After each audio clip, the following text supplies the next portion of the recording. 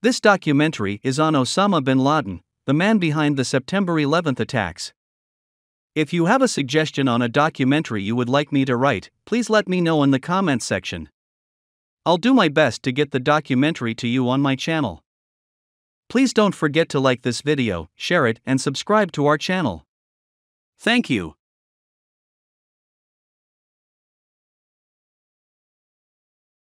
Osama bin Laden is a name that is synonymous with terrorism, violence, and extremism. He is the founder of the terrorist organization Al Qaeda and was responsible for the September 11th attacks on the United States. Bin Laden's life and actions have had a significant impact on the world, and his death in 2011 marked the end of an era in the global fight against terrorism. This video will explore the life, beliefs, and actions of Osama bin Laden and analyze his impact on global politics and international security. Osama bin Laden was born in Riyadh, Saudi Arabia, in 1957, the 17th son of Mohammed bin Awad bin Laden, a billionaire construction magnate. Osama's mother, Hamida Al Attas, was Mohammed's fourth wife. Osama had 52 siblings from his father's multiple marriages. His family was one of the wealthiest in Saudi Arabia, and Osama grew up in a privileged environment. Osama received his early education in Saudi Arabia, and he later attended college in Jeddah. He studied management and economics and graduated with a degree in 1979. After graduation, he worked for his father's company, the Bin Laden Group, as a construction engineer. Osama bin Laden's radicalization began in the late 1970s when the Soviet Union invaded Afghanistan. Bin Laden was deeply affected by the invasion and saw it as an opportunity to fight against the Soviets and defend Islam. He traveled to Afghanistan in 1980 to join the Mujahideen, a group of Islamist fighters who were resisting the Soviet occupation. Bin Laden's experiences in Afghanistan radicalized him further, and he became a devout Salafi Muslim. Salafism is a fundamentalist Sunni movement that seeks to purify Islam of what it sees as corrupt and un Islamic practices. Salafists believe in a strict interpretation of the Quran and the Hadith and reject any innovations or changes to Islamic practice. Bin Laden also became politically radicalized during his time in Afghanistan. He saw the conflict in Afghanistan as a struggle between the Islamic world and the West, and he became convinced that the United States and its allies were the enemies of Islam. He believed that the United States was a corrupt and godless society that was waging war against Muslims around the world.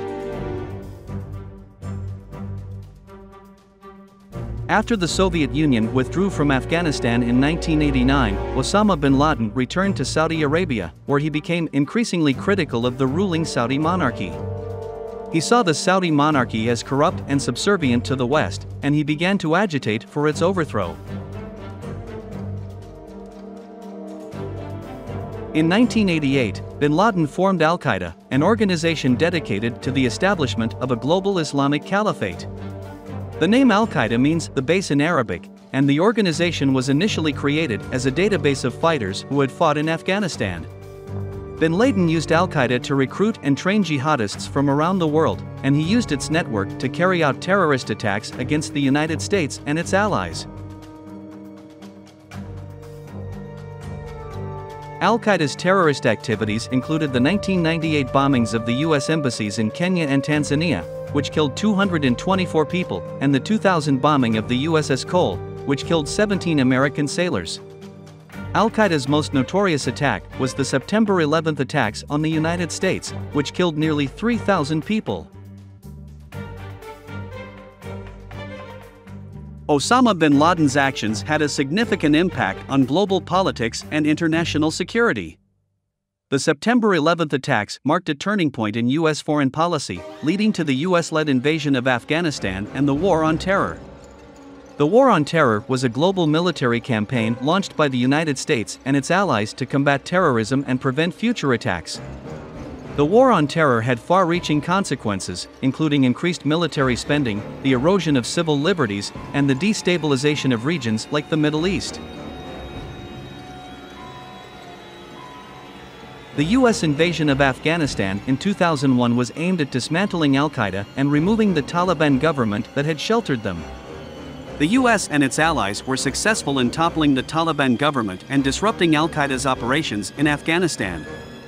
However, Al Qaeda and other terrorist groups have continued to carry out attacks around the world, and the war on terror has been criticized for its high human and financial costs.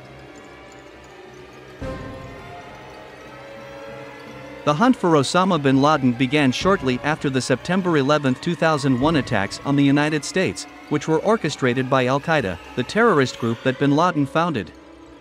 For over a decade, the US government and its intelligence agencies pursued leads and conducted extensive searches in several countries, including Afghanistan and Pakistan, where bin Laden was believed to be hiding.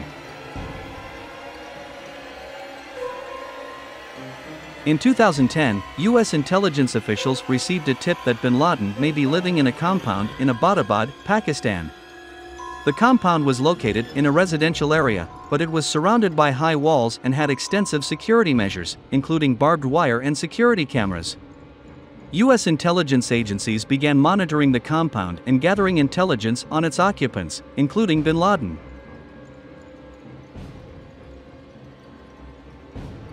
On May 1, 2011, US President Barack Obama ordered a covert operation to take out bin Laden. The operation was conducted by a team of US Navy SEALs, who were flown into Pakistan by helicopter. The SEALs breached the compound walls and engaged in a firefight with the occupants of the compound, including bin Laden and several of his associates. Bin Laden was located on the third floor of the compound and was shot and killed by the SEAL team. The SEALs also killed several other occupants of the compound, including bin Laden's son and two couriers who were believed to have been assisting him. After the raid, the SEAL team gathered intelligence materials from the compound, including computers, hard drives, and other documents. These materials provided valuable information on Al Qaeda and its operations, including insights into bin Laden's personal life and his involvement in planning terrorist attacks.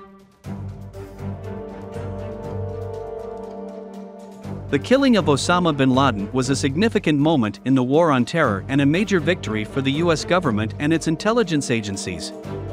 It marked the end of a decade long manhunt for one of the world's most wanted terrorists and dealt a blow to Al Qaeda's leadership and operations. The operation was also a testament to the skill and bravery of the U.S. military and its special operations forces. Osama bin Laden's life and actions have had a profound impact on the world. He founded Al Qaeda, a terrorist organization responsible for some of the deadliest attacks in modern history. His beliefs in radical Salafi Islam and his political views on the West and its allies drove him to carry out violent acts against innocent people. Bin Laden's actions led to the US led war on terror, which has had far reaching consequences for global politics and international security.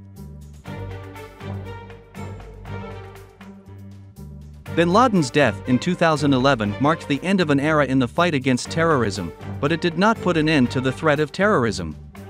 Al Qaeda and other terrorist organizations continue to pose a significant threat to global security. The legacy of Osama bin Laden is a reminder of the ongoing challenge of combating terrorism and the need for continued vigilance and cooperation among nations to ensure the safety and security of people around the world.